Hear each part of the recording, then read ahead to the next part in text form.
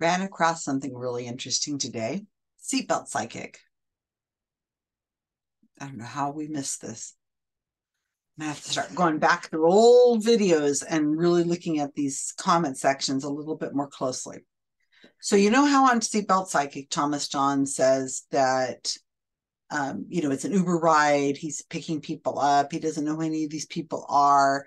Um, he's reading their dead people and so on. And there's no way he could possibly know who these people are, and so on and so on and so on and so on. Today, somebody brought to my attention a video. It's on YouTube. Let me show you which one I'm talking about.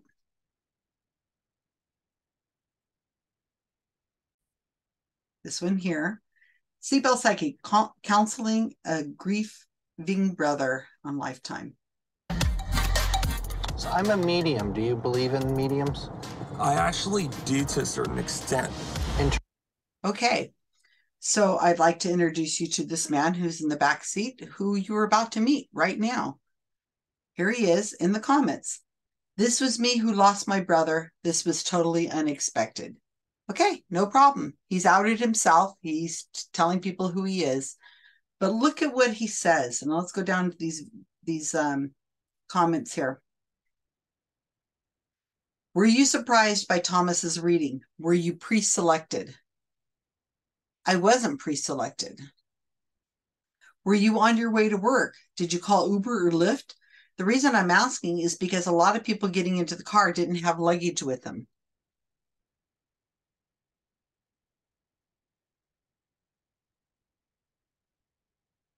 Apparently, many of these people are selected by a casting director who sends a car for them to go to an audition, but they have no idea they're going to be read. Why doesn't the show just say that plainly? Now they, all they say is, Thomas has never met these people before. The readings are 100% real. See, I've seen per- Thomas John in person. He's amazing, but they're not being totally honest about where they find the people or agree to sign the release forms. Okay, this is from somebody who we've run into many, many times. Um, and a little further down, he says, You were right.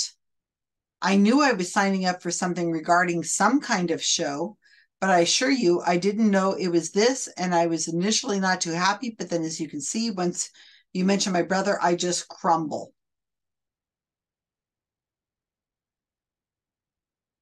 So, one of the things that we hear all the time is that these are people being picked up by a ride share and that they they didn't know that they were going to be on a show. I've interviewed other people and that were in that back seat and it was very clear that they knew they were going to be on a show. They did not know they were going to get a reading but they did know that they were going to be on a show. They they applied to be on the show. They filled out paperwork weeks in advance before the show which gives Thomas John or his Confederates that are working with him, which I don't think it's the show, I don't think it's Lifetime, gives them weeks to look into the person's personal history, look at their Facebook page, look at Google them or whatever. And then when they get into the back seat of the car, they're able to relay some information to them. How hard is it to find information? Well, let's look how hard it is. So this guy is getting a reading from Thomas John, and I'll put the link in the description underneath this video.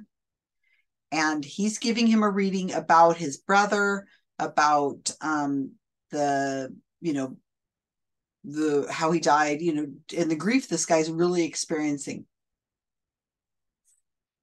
And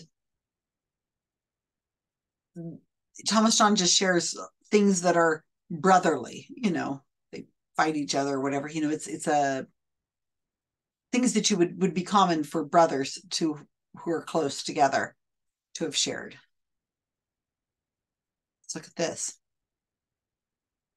Going back to the channel again here he is clicking on his clicking on his uh, youtube channel what how long did it take us to click on a youtube channel from going from youtube to youtube channel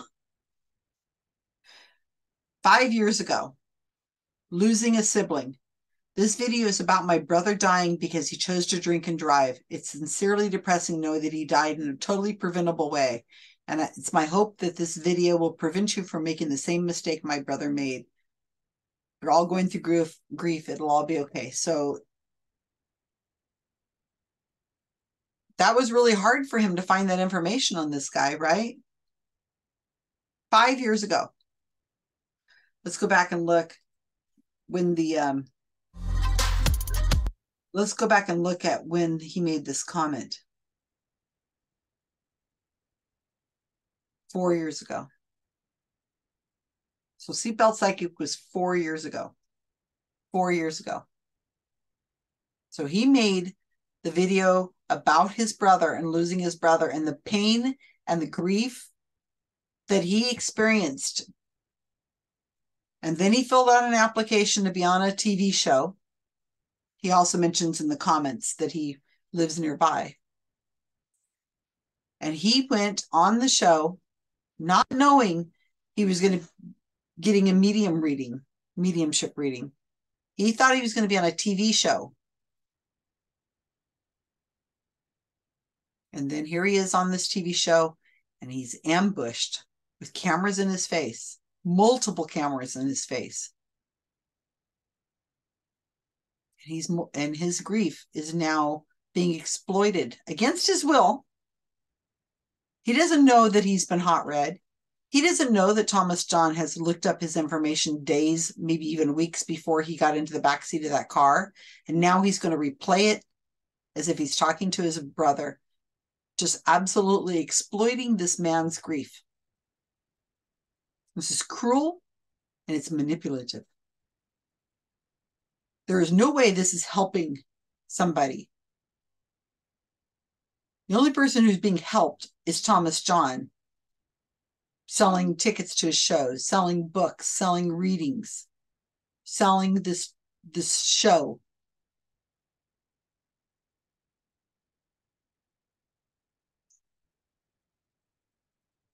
makes me ill just thinking about how he's just exploiting this man.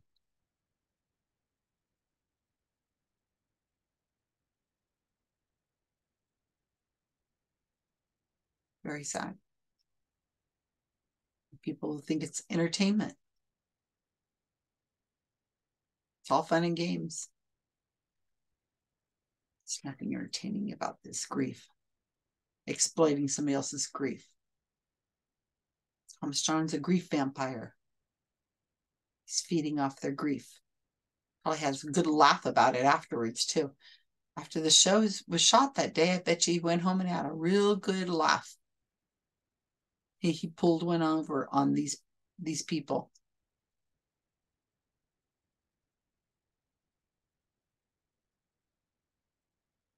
See it for what it is.